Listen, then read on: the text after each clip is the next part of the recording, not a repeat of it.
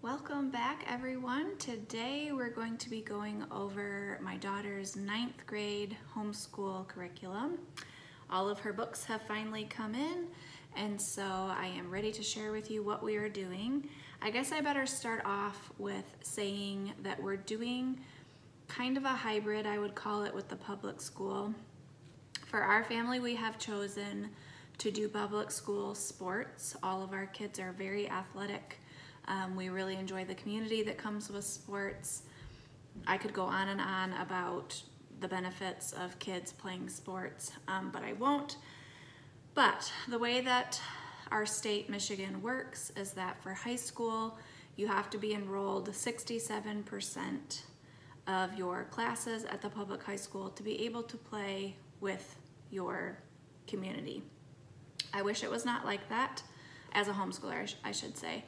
I wish it was not like that, but that's how it is, and so we have to play by their rules.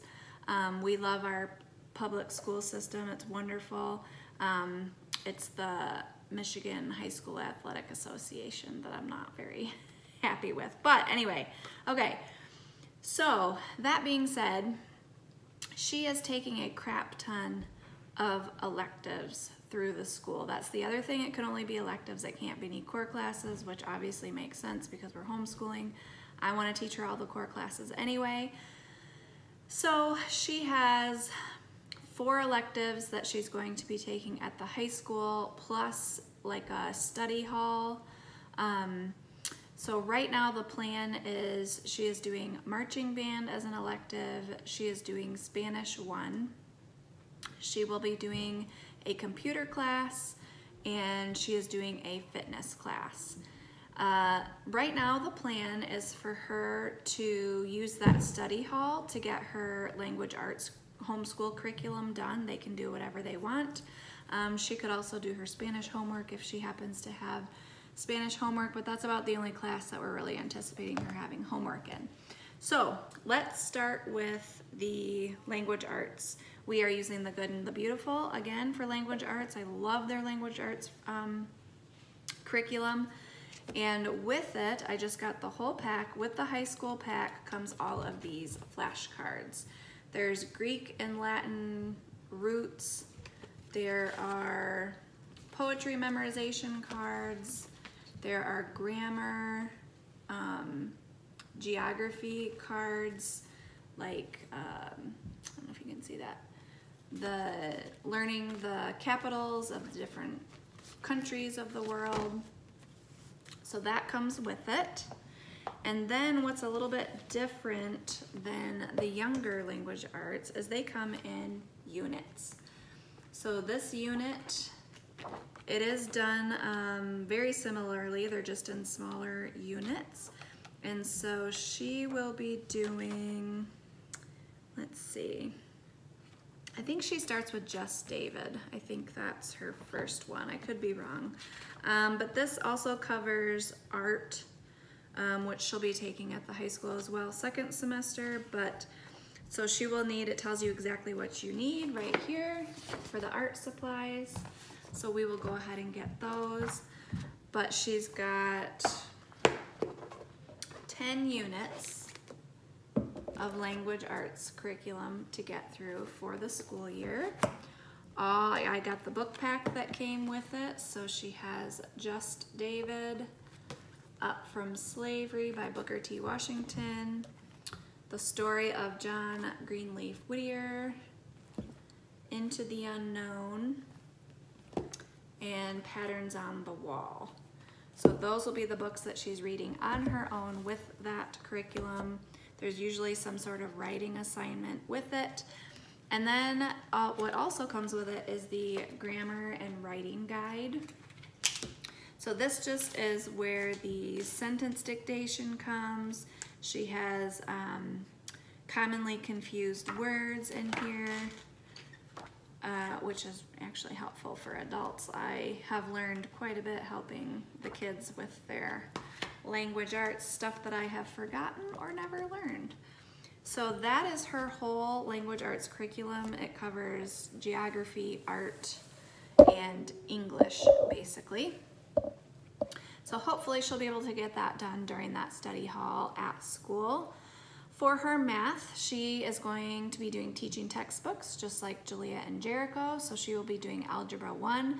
She actually already started it this summer and she really likes it. So we will be continuing with that. Um, we really like it. It's an app. We use the iPad with an iPen or um, the Apple Pencil and they all really like to do their math that way, so we will be doing that. Um, something I don't know if I mentioned in my other videos, but teaching textbooks grades it for you, keeps the whole transcript. Um, you can see like what problems they needed help on, like did they look at the hint or did they solve it by themselves? So really wonderful, we really like that. All right, so that's language arts. Um, Science took me the longest to pick out, and I did have Jurnee's input with this. Jurnee's plan right now, she's really interested in interior design and real estate, and so we did not feel like we needed to um, start as a freshman with biology. She's not interested in any of the math or science careers. So to get that extra year of advanced science in, we did not feel like was necessary for her. So we are starting with physical science, which most freshmen start with if you aren't gonna go into, you know, if you don't need those advanced sciences. And I did decide to go with apologia. Now, Jurnee and my brain work very similarly and color is really good for us. Like if something's not designed beautifully or is very boring to look at, then it's hard for us to pay attention. But it comes with a giant, this is a very intensive course. And so it's gonna take, this one will probably go into the summer.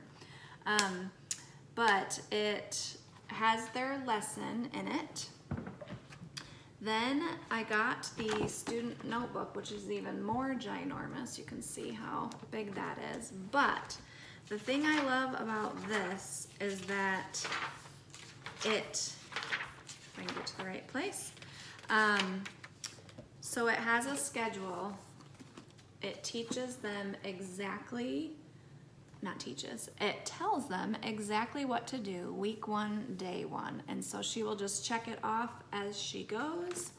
And also when she has to write stuff or take notes, um, or she has assignments, there are, so like it says, label each of the following observations as qualitative or quantitative. So she has to, when it says to do something in the textbook, you write it in the notebook. And for us, that just seemed, you know, like this is the workbook. That just seemed to make the most sense. And then I did go ahead and get the solutions and tests for science. So um, I just feel like at the high school level, it's pretty important now that she's being tested regularly on what she's learning um, especially for something like this. Uh, the younger years, I don't really need to test them because I'm sitting with them, I know how they're doing, and isn't that the purpose of a test? You know, to test how well you know your information. Okay, the only subject that she will be doing with the rest of the family is history. And we are using the good and the beautiful again. The nice thing about history is that you know, she doesn't need to take US history or world history. You know, you can do those things separately, but the way that this history course is designed is when you go through all four years, each year touches on US history, it touches on ancient world history, it touches on current events. Um, so by the time you make it through four cycles, the four years, you have learned a little bit about each of those things every single year. So she will be doing that with us. Um, this is what we're gonna start the day off with right away in the morning before she has to head off to the public school. And so um, we're doing year one of The Good and the Beautiful History. Comes with this beautiful book of history stories. Um, and also I believe there's maps in here, all sorts of stuff. And then the read alouds that come with year one are Through the Wall, Three Gold Doubloons, the Saracen Steed, and Boy of the Pyramids. And each of these correspond to a unit. There's four units within the year. So we do history every other day. So every other day, she will do that with us before she takes off for the public school. Now the morning, the other thing that we're gonna do, um, each of the, I got each of the kids a gratitude journal. This is the one that I got for Jurnee. And it just says, give thanks to the Lord. It's very basic. It has a Bible verse and then it has, I'm thankful for three things, the date. And um, we're just basically gonna use this as like a warm up in the morning. And then I also got this for her answers book for teens and I had gotten the younger version for the other two, but I mean, they would enjoy this as well. Um, so I just think we might read just a little bit out of each of those books in the morning. Um, like the first question is, how can anyone believe that the Bible is true since it was written so long ago when people didn't know stuff? Okay? So it kind of addresses why people didn't know stuff um, good answers offering no proof, and then it goes through. So we might read this every morning as part of their gratitude just to kind of wake their brains up. But that is her schedule. She will have a very full schedule with all of those electives.